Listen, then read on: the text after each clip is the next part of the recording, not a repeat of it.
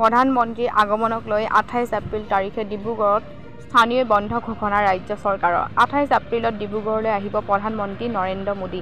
দুশ কোটি টকাৰে অসম কেঞ্চাৰ কেয়াৰ ফাউণ্ডেশ্যন আৰু টাটা ট্ৰাষ্টৰ তত্বাৱধানত ডিব্ৰুগড় কেঞ্চাৰ কেয়াৰ হস্পিতালখন আনুষ্ঠানিকভাৱে প্ৰধানমন্ত্ৰীগৰাকীয়ে ৰাইজলৈ মুকলি কৰাৰ পিছতেই খনিকৰৰ বিশাল জনসভাত অংশগ্ৰহণ কৰিব দেশৰ জনপ্ৰিয় প্ৰধানমন্ত্ৰী নৰেন্দ্ৰ মোদীয়ে।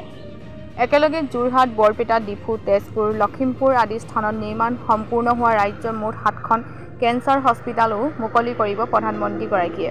সমান্তৰালকৈ অন্য সাতখন কেঞ্চাৰ হস্পিতালো উক্ত দিনা আধাৰশিলা কৰিব প্ৰধানমন্ত্ৰীগৰাকীয়ে। বৰ্ণাঢ্য এই অনুষ্ঠানত দেশৰ প্ৰধানমন্ত্ৰীগৰাকীৰ উপৰিও দেশৰ আগশাৰীৰ প্ৰতিষ্ঠিত ব্যৱসায়ী ৰতন টাটাইও অংশগ্ৰহণ কৰিব। নৰেন্দ্ৰ মোদীৰ আগমনক লৈ এতিয়া ঐতিহাসিক চহৰ ডিব্ৰুগড়ত চলিছে ব্যাপক প্ৰস্তুতি। লগতে প্ৰধানমন্ত্ৰীগৰাকীৰ ডিব্ৰুগড়ৰ আগমনক লৈ আঠাইছ এপ্ৰিল তাৰিখটো স্থানীয় বন্ধ হিচাপে ঘোষণা কৰিছে ৰাজ্য চৰকাৰে। উক্ত দিনা সকলো ৰাজ্য চৰকাৰৰ অধীনস্থ কাৰ্যালয় আৰু শিক্ষা প্ৰতিষ্ঠান বন্ধ কৰাৰ নিৰ্দেশ প্ৰদান কৰিছে ৰাজ্য চৰকাৰে।